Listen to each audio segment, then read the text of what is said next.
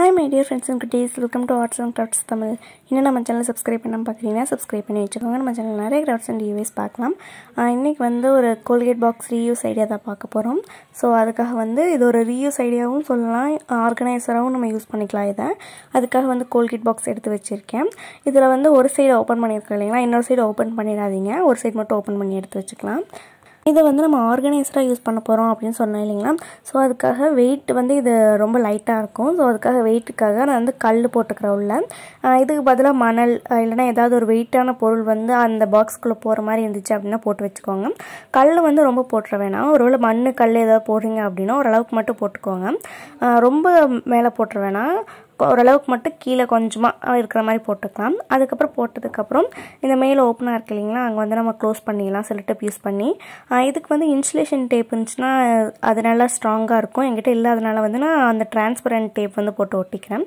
இப்போ நெக்ஸ்ட்டு வந்து நான் ஹோம்மேடாக வந்து பேட்டர்ன் பேப்பர் ரெடி பண்ணி வச்சுருக்கேன். ஒன்றும் இல்லைங்க ஸ்கெட்ச் எடுத்து இந்த மாதிரி கோடு போட்டு வச்சுருக்கேன். அந்த மாதிரி பேட்டர்ன் பேப்பர் உங்களுக்கு நீங்களே வந்து வீட்டில் ட்ரை பண்ணலாம். ஒன்றும் இல்லைங்க நம்ம வந்து ஏதாச்சும் ஒரு ஏ ஃபோர் ஷீட்டோ இல்லை சாதா பேப்பரோ எடுத்துகிட்டு உங்களுக்கு என்ன டிசைன் பிடிக்குமோ அதை போட்டு வரைஞ்சிக்கலாம்.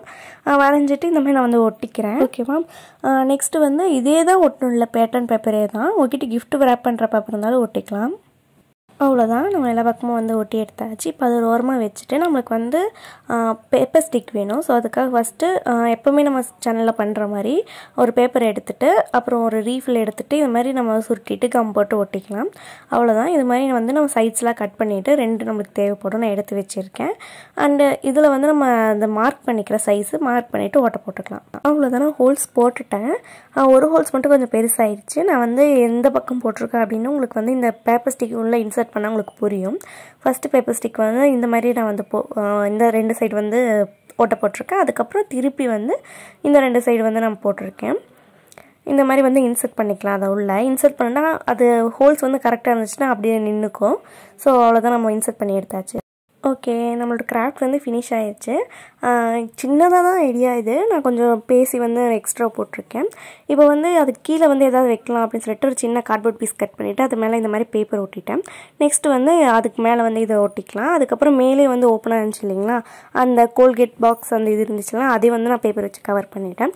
அவ்வளோதான் நம்மளோட கிராஃப்ட் வந்து ஃபினிஷ் ஆயிடுச்சு. இப்போ இது ஆர்கனைசர் என்ன ஆர்கனைசர் அப்படின்னா பேங்கிள் ஆர்கனைசர் தான். ஸோ இந்த நம்ம பேப்பர் ஸ்டிக் இன்சர்ட் பண்ணியிருக்கோம் இல்லைங்களா? அதெல்லாம் வந்து நம்ம வலையில் வந்து போட்டு வச்சுக்கலாம். ரொம்ப ஈஸியாக வந்து செஞ்சு முடிச்சிடலாம். வேஸ்ட்டாக தூக்கி போடக்கூடிய டூத் பேஸ்ட் பாக்ஸ்லேருந்து சிம்பிளாக வந்து நம்ம இதை ரெடி பண்ணிடலாம்.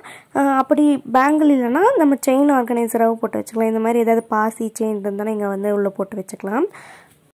அவ்வளோதான் இந்த கிராஃப்ட் டே பார்க்க எப்படி இருக்குன்னு சொல்லிட்டு கீழே கமெண்ட் பண்ணுங்கள் இதே மாதிரி நிறைய ஆர்கனைசர் வீடியோ அதுக்கப்புறம் கிராஃப்ட் வீடியோ பார்க்கணுன்னா நம்ம சேனல் சப்ஸ்கிரைப் பண்ணி வச்சுக்கோங்க.